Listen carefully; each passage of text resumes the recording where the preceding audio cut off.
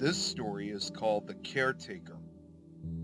Zeke Taylor slammed the door to his mom's rusty double wide and ran off into the dusky December evening.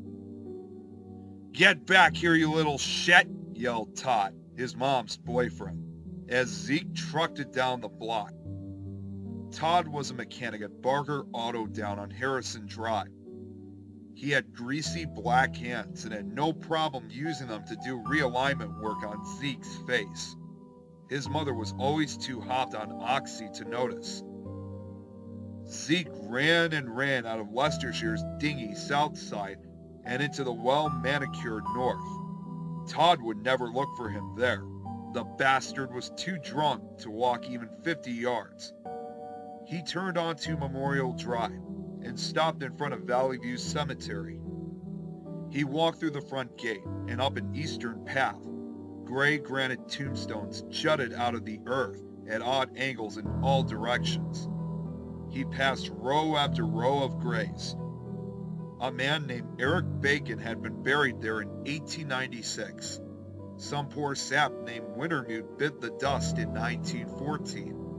Baby Anthony with his weathered lamb monument died in 1934. These were all just names, except for one grave, a relatively new one, located at plot number 47. Her name was Ethel Taylor, but Zeke had always called her Baba. She was the one who watched him when Mom was out with Rick or Steve or Neil, the Walmart cashier who smelled like a walking bottle of Jim Beam.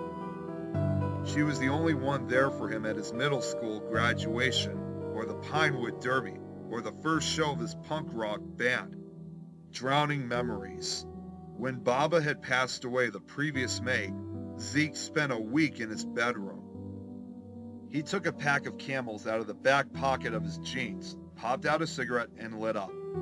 The orange glow of the filter looked like a floating flame in the deep dark blue of the evening. He wandered through section 4D and looked at the headstones. Many of them were decorated with freshly cut flowers. The yellows and purples and reds of the bouquets stood out against the oh-so-serious gloomy headstones. These people are worm food, and somebody still cares about them, thought Zeke.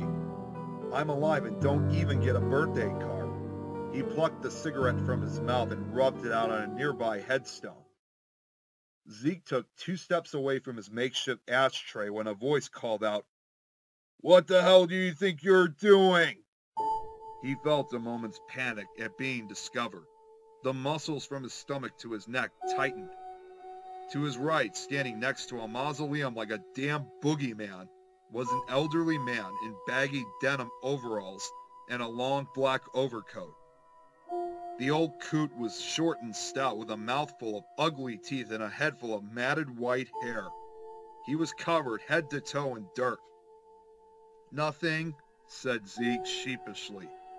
He glanced over at the pack of cigarettes, which he had forgotten on top of the headstone. The man drew closer. He held a lantern up to his head, the glow of which cast nasty shadows across his cracked and wrinkled face. He smelled like he regularly bathed in unleaded gasoline. Don't lie to me, said the man. He nodded his head toward the cigarette butt lying in front of the headstone. I'm the caretaker for this here cemetery, and nothing gets past me. Zeke turned to walk away, but the man grabbed him by the arm. His grip was shockingly strong for a guy Zeke figured was closer to 70. Where do you think you're going? His rum-soaked breath warm on Zeke's face. Zeke panicked and yanked his arm out of the old man's grasp, then sprinted toward the front gate. After running 50 or so yards, he looked over his shoulder. He couldn't see the man anymore, but could make out the lantern glow, and it was definitely moving in his direction. He bolted out of the cemetery and headed for home, the thought of Todd's XL belt from earlier that evening still fresh on his mind.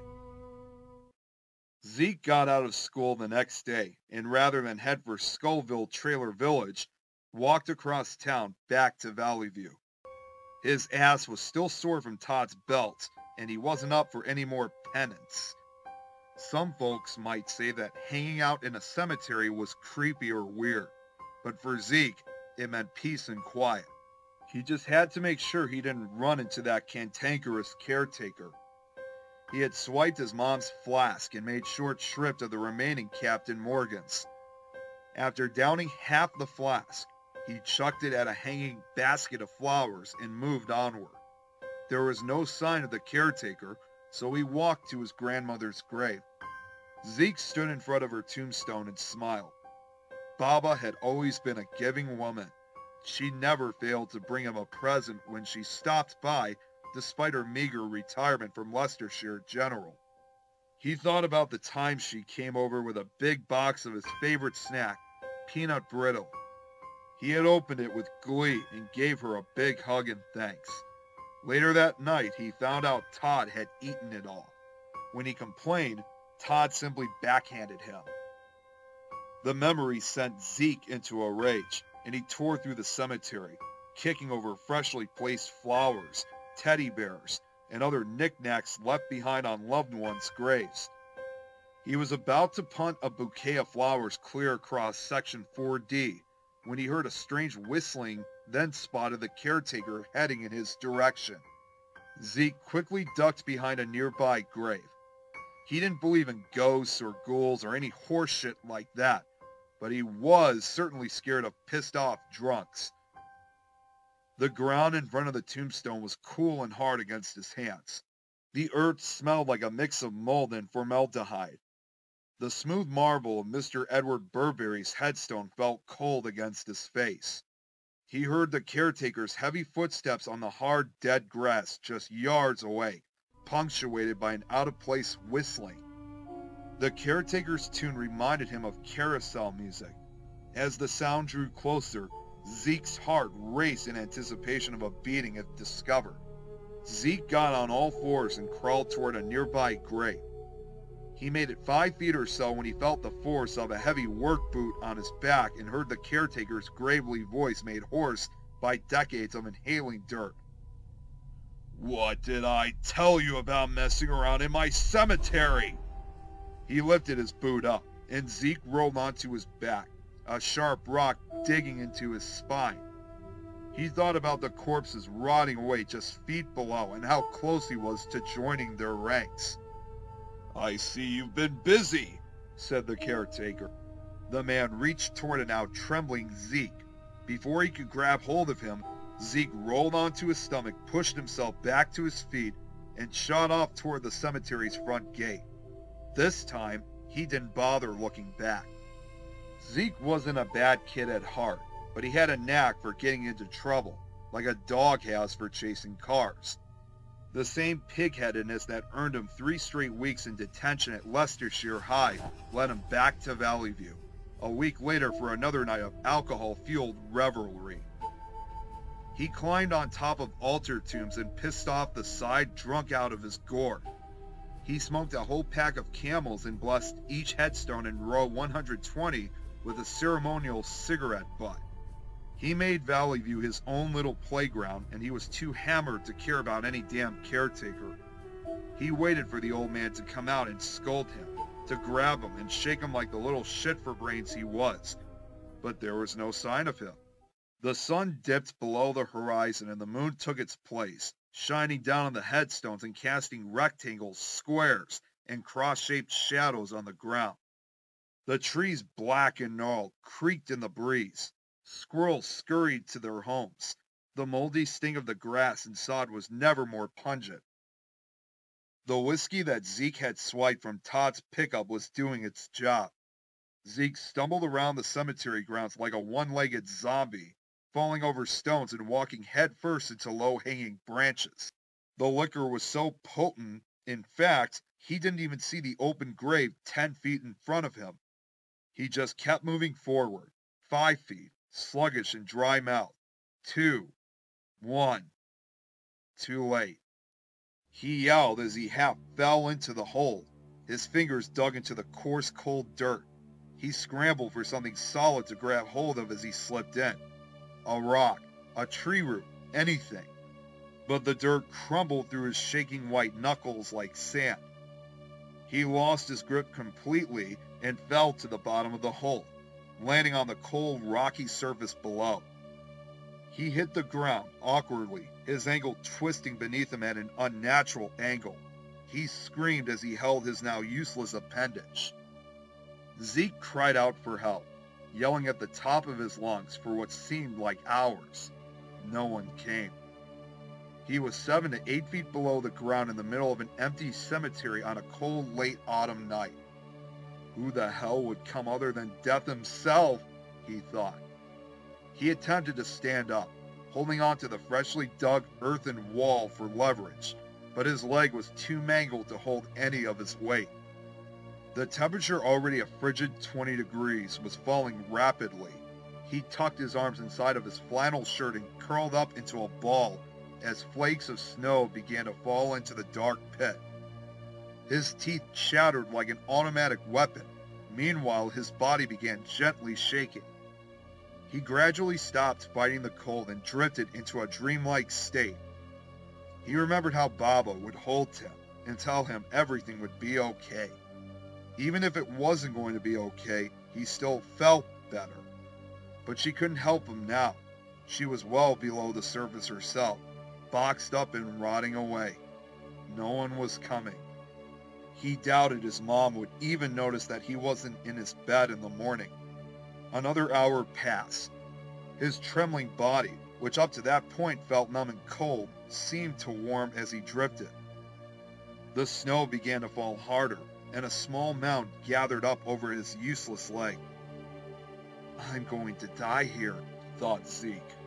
That old crotchety caretaker is going to find my body in the morning, and they'll bury me three days from now.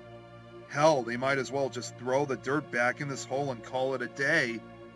He was about to close his eyes and accept his fate when he heard a faint whistling. It was the caretaker. Zeke was in such bad shape that he contemplated yelling to him for help. But then he recalled their last meeting.